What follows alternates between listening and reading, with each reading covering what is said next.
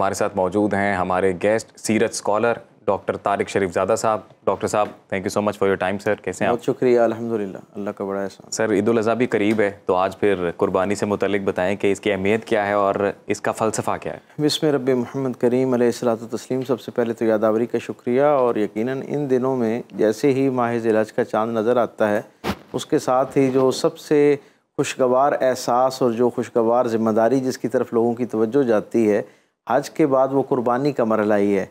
और यकीनन पूरी दुनिया के अंदर उम्मत मुस्लिमा जो है वो अपने अपने अंदाज में अपने अपने माहौल के तकाज़ों को मद्दनज़र रखते हुए अल्लाह की बारगाह में अपनी कुर्बानी पेश करने के लिए जानवरों की तलाश में निकलती है और फिर उसका अहतमाम किया जाता है। और अलहमदिल्ला बर सग़ीर पाक हिंद में मैं समझता हूँ बाकी जगहों की नस्बत ज़्यादा वालहाना अंदाज में जो है इसे इसकी सेलिब्रेशन की जाती है और इसकी ख़रीदारी से लेकर इसकी कुर्बानी तक का जो मरला है, उसे बड़े ही खूबसूरत अंदाज में और बड़े ओक़ और शौक़ के साथ किया जाता है। और इसमें यानी जिस आदमी पे कुर्बानी वाजिब है, जो साहिब निसाब घर का ज़िम्मेदार है, उससे लेकर मासूम बच्चों तक सब ही उसके अंदर, इस खुशी के अंदर शरीक होते हैं और एक जज्बा नज़र आता है।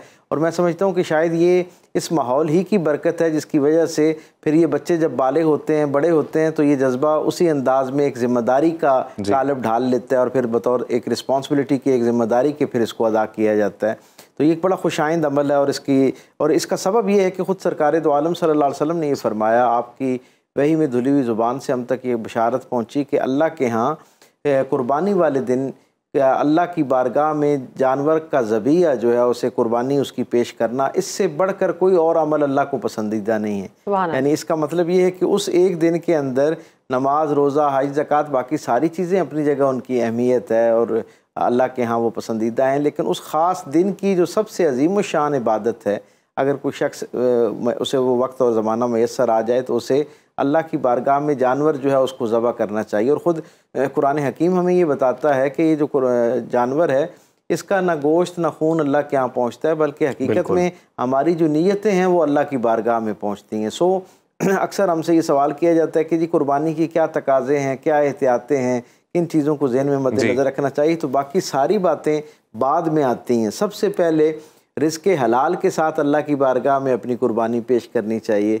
बिल एहतमाम बहुत एहतियात के साथ क्योंकि ये खालिशता मा एक तरह की माली इबादत है और माली इबादत की जो पहली शर्त है वो रिस्क हलाल का होना है। सो पहली शर्त तो ये है कि माल आपका पाक होना चाहिए और शायद उसके बाद सबसे नुमाया तरीन तकाजा जो कुर्बानी का है ना वो ये है कि कुर्बानी को खालिस अल्लाह की रज़ा के लिए किया जाना चाहिए। हमारे यहाँ अमूमी तौर पर हम कुर्बानी करते हैं अपने गिरदो पेश में जो लोग हमारे बहन भाई हैं अज़ीज़ अकारब हैं दोस्त अहबाब हैं महल्लेदार हैं जानने वाले हैं उनको ये बताने के लिए कि हमने कितना ज़बरदस्त जानवर जो है ना वो अल्लाह के रस्ते में कुर्बान किए और हम कैसे जो है ना कुर्बानी का अहतमाम कर रहे हैं और कितने वसाइल खर्च कर रहे हैं। अल्लाह क्या मैं समझता हूँ कुर्बानी के लिए जब बंदा तैयार हो तो पहला तकाजा इसके हलाल के बाद ये है कि आपकी नीयत खालिस अल्लाह को राज़ी करने के लिए होनी चाहिए। बंदों को जो है ना उसका एक जिसे कहते हैं ना एक पॉजिटिव इम्पेक्ट क्रिएट करना या अपने बारे में एक हैरान कौन मुस्बत राय पैदा करने के लिए इसको नहीं करना चाहिए। वरना वो जो खालिश अल्लाह के लिए है ना उस अजर से फिर आप महरूम हो जाते हैं फिर वो दुनियादारी के लिए रह जाते हैं। डॉक्टर साहब अभी आजकल हम सोशल मीडिया पर देख रहे हैं कि लोग ना इस तरह से बातें करते हैं कि कुर्बानी ज़रूरी नहीं है। आप उसकी जगह वाटर कूलर लगवा दें या आप किसी गरीब की बेटी की शादी करवा दें तो ये ज़्यादा बेहतर है। मैंने बिल तमाम इसी वजह से ये हदीस मुबारक अपने सामीन और नाजरीन की नज़र की कि मेरे करीम आका सल्लल्लाहु अलैहि वसल्लम के क्योंकि आप जो दीन लेकर आए ये कामिल दीन और हर ज़माने के तकाज़ों को मद्देनज़र रखते हुए अल्लाह ने इसमें हिदायतनामा जारी फरमाया है। अल्लाह के इल्म में था कि कुछ ज़्यादा समझदार लोगों ने बाद में आ जाना है और उन्होंने कहना है कि जी इसकी जगह किसी का जहेज़ दे दें किसी को खून हम्म, लगवा हम्म। दें किसी का ऑपरेशन करवा दें। ये सारे खैर पर मबनी अमल हैं। कोई जी शूर आदमी किसी भी मज़हब का हो किसी ज़माने का हो किसी कल्चर का हो वो इन सारी खूबसूरत और अच्छी बातों इन खैर के कामों से की अहमियत से कैसे इनकार कर सकता है? ये अपनी जगह मुसलमा है। लेकिन जैसे मैंने बताया कि हज़रत आयशा सिद्दीक़ रज़ी अल्लाह ताली ये फरमाती हैं कि रसूल वसल्लम ने यह फरमाया कि उस दिन कुर्बानी वाले जो अयाम हैं उनमें अल्लाह की बारगाह में बंदी की तरफ़ से जानवर की कुर्बानी से अफजल कोई और अमल नहीं है। अगर किसी के पास इसके अलावा वसाइल हैं और पूरा साल पड़ा हुआ है अगर हम उर्फियत में तीन सौ पैंसठ दिन साल को शुमार करते हैं तो मेरे ख्याल में बाकी जो तीन सौ बासठ दिन है, वो आपके पास ये सारे काम करने के मौके मौजूद होते हैं और आप बढ़ चढ़ कर करें। इन दिनों में भी अगर आपके पास इन तीन दिनों में भी वसाइल मौजूद हों, कुर्बानी के अलावा के, और किसी की ज़रूरत हो तो बेशक आप पूरा करें इस्लाम तो उसकी भी हौसला अफजाई करता है। लेकिन क्योंकि वो उस वक्त का तकाजा है, इसलिए उन दिनों में अल्लाह की रज़ा अगर मकसूद है आपको, और अल्लाह की रज़ा का तयन जो है, ना मैं और आप, आपने करना है बल्कि ये खुद अल्लाह रब्ज़त ने मुतन कर दिया है कि वो किस बात से किस ज़माने में किन दिनों में किस वक्त में कैसे खुश होता है। और डॉक्टर साहब कुर्बानी का फ़लसफ़ा क्या है? क्यों जानवर कुर्बान करना लाजम है? मैं मैंने जैसे ख़ुद अर्ज़ किया आपके सामने और आपने अपने सरनामा कलाम में भी ये बताया कि ये हज़रत इब्राहीम सलाम की सुन्नत है और कुरान हकीम ने इस वाक़े को अपने अंदर जो है वो बयान किया है और हमेशा के लिए इसको लाफानी कर दिया। कि जनाब इब्राहीम सलाम को अल्लाह रब्ज़त ख्वाब में एक इशारा अता फ़रमाते हैं। अम्बिया के ख्वाब क्योंकि सच हुआ करते हैं और वही का हिस्सा हुआ करते हैं, इसलिए आपने अपने साहबजादे से हज़रत इसमाईल सलाम से इस ख्वाब का तस्करा किया और उन्होंने ये नहीं कहा कि ये तो ख्वाब है, इंतज़ार कर लें, देख लें, सोच लें। उन्होंने कहा, अगर वाक़ता आपने ये ख्वाब देख लिया है तो आप अल्लाह के नबी हैं और इस ज़माने के इमाम हैं, इसलिए आपका मकाम और मनसब ये है कि आपका ख्वाब जो है वो भी अल्लाह की तरफ़ से हिदायत है। सो so, आप अपना जो आपको हिदायत दी गई है आप उस पर अमल करें। मैं आप आप मुझे जो है अपने साथ इस अमल में साबरीन में से पाएँगे। अल्लाह के यहाँ हम्म। सब्र करने वाले शुक्र करने वाले लोगों में शुमार पाएँगे। तो ये वहाँ से सिलसिला शुरू हुआ असल में। ज़ाहरी तौर पर तो यूँ लगता है कि जैसे हम एक जानवर के ऊपर को छुरी फेर रहे हैं लेकिन हकीकत में ये एक हमारी तरफ़ से ऐलान होता है कि परवरदिगार ये जानवर हमें अज़ीज़ था हमें इससे मोहब्बत थी।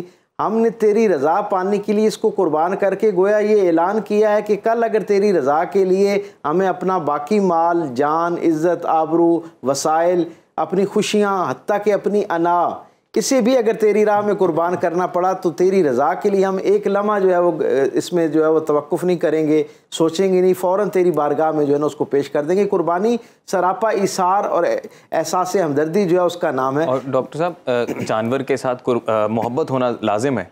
जी हाँ जितनी ज़्यादा मोहब्बत बढ़ती जाएगी इतना आपके लिए उसका अल्लाह के सामने पेश करना ज़रा जिसे कहते हैं ना दिल के ऊपर एक वज़न आ रहा होता है। सो जितनी मोहब्बत ज़्यादा हो और उसके साथ फिर उतना ही वक़ार और अहतमाम ज़्यादा हो इतना ज़्यादा खुश दिली के साथ आप जब उसे कुर्बानी के तौर पर पेश कर रहे होते हैं एक नापसंदीदा चीज़ को या गैर ज़रूरी चीज़ को किसी में किसी को तोहफे में देना उसकी भी अपनी एक अहमियत है उसका भी एक एक, एक, एक जिसे कहते हैं एक मुस्बत अमल है। लेकिन अपनी बहुत ही पसंदीदा चीज़ किसी के हवाले कर देना उसको पहुँचा देना, उसको तोहफ़ा कर देना, उसके खिदमत में पेश कर देना, ये कई गुना ज़्यादा बेहतर और अफजल अमल है। इसीलिए आप ये देखें कि ख़ुद सरकार दो आलम सल्ला वसम के यहाँ भी ये मामूल था और असाब का भी मामूल है कि एक बड़े ज़माने तक वो जानवर को बड़े अहतमाम के साथ ख़ुद पाला करते थे।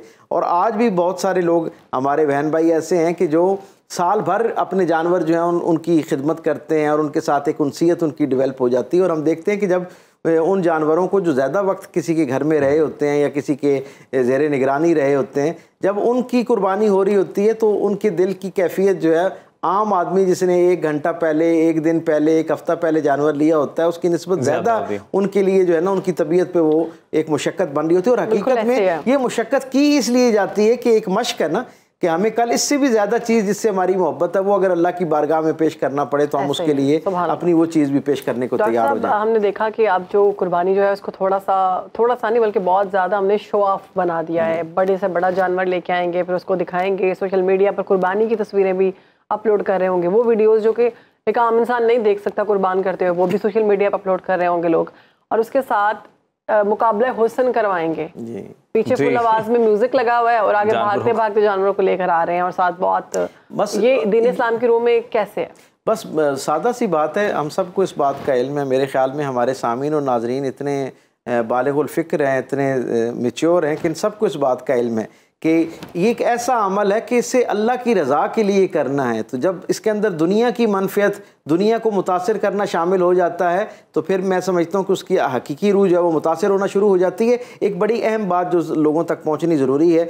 हम ये समझते हैं कि शायद कुर्बानी का तकाजा ये है और ज़्यादा अच्छी बात यह कि बहुत महँगा जानवर ख़रीदा जाए। हम्म। अल्लाह के यहाँ बहुत महँगा एक जानवर ख़रीदने से ज़्यादा अफजल बात यह है कि आप मुतवसत कीमत के ज़्यादा जानवर ख़रीदें ताकि उसका गोश्त ज़्यादा लोगों तक पहुँच। सके असल में इस कुर्बानी का जो तस्वुर है ना हमारा अलमिया ये कि हम तो जानवर घर आने से पहले तय कर लेते हैं कि इसका कौन सा हिस्सा हमारे ख़ानदान के कौन से साहिब सरवत माली तौर पर बावसाइल आदमी के पास जाएगा। गोया कौन से फ्रीजर की किस्मत जो है वो कौन सी राम से चमकेगी और कौन सी कहाँ कहाँ उसको पहले से ही तय कर लिया जाता है। हालाँकि मैं ये समझता हूँ कि ज़ाहरी तौर पर जो मुस्ताब अमल है कि उसे तीन हिस्सों में तकसीम करना चाहिए एक अपने लिए एक अपने रिश्तेदारों के लिए और एक ज़रूरतमंदों के लिए। लेकिन अब इस वक्त जो बावसाइल लोग हैं जिनके पास एक से जायद कुर्बानियाँ जो। करते हैं उन लोगों को मैं समझता हूँ कि ज़्यादा हिस्सा गोश्त का जो है उसे तकसीम कर देना चाहिए क्योंकि इस माशरे में एक बड़ा तबका ऐसा है जिन्हें वाक़ता ये एक मुहावरत नहीं वाक़ता जिन्हें बहुत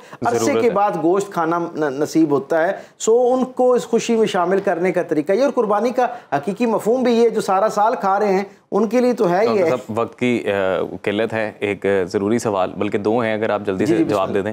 सर एक तो ये कि किन हालात में कुर्बानी लाजिम मतलब फ़र्ज़ हो जाती है किस शख्स पे? और दूसरा ये कि जो शख्स इस दुनिया से रुखसत हो चुका क्या उनके नाम की भी कुर्बानी दी जाए बिल्कुल ठीक दोनों सवाल बड़े हैं। मैं पहली बात कि हर वो शख्स जो ईद फितर की ईद अज़ी की कुर्बानी वाली ईद की सुबह फजर पे साहिब निसाब हो यानी उसके पास इतने वसाइल मौजूद हों जितने एक ज़क़़त का जो मुतमिल आदमी है उसका जो जिससे तकाजा किया जाता है उस जितने इसबाब उस दिन एक दिन पूरे साल के लिए नहीं ज़क़़त के लिए तो पूरे साल आपके पास इसबाब रहने चाहिए ना।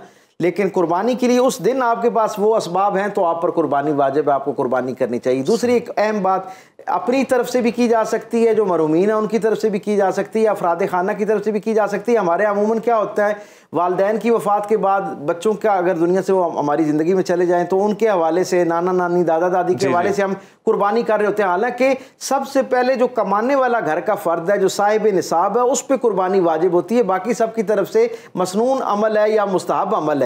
खुद सरकार ने अपनी तरफ़ से भी की और अपनी उम्मत की तरफ़ से भी हर दफ़ा कुर्बानी की। लेकिन पहली कुर्बानी वाजिब उस पर है जो साहिब निसाब है। तो अगर एक कुर्बानी करनी हो घर में से किसी ने तो सबसे पहले जो बा जो घर में कमाने वाला शख्स है साहिब निसाब है उसकी तरफ़ से कुर्बानी की जाए अच्छा। और उसके बाद फिर बाकी लोगों के नाम की कुर्बानी की जाए। हम अक्सर ये सुनते तो हैं कि, कि एक जानवर पे हम्म। बकरे पे एक शख्स का नाम लिया जाता है। एक बकरा जो है वो एक कुर्बानी तस्वुर किया जाता है। गाय जो है और जो ऊँट है उनके अंदर सात अफराद का जो है ना वो हिस्सा होता है। और ये सरकारी आलम के ज़माने से इसी तरह मुतन और इसके अंदर पूरी उम्मत में कहीं कोई इख्तलाफ जो है वो पाया बहुत शुक्रिया डॉक्टर साहब आपने बड़ी तफसील के साथ समझा दिया कुर्बानी का मकसद और इसका फ़लसफ़ा।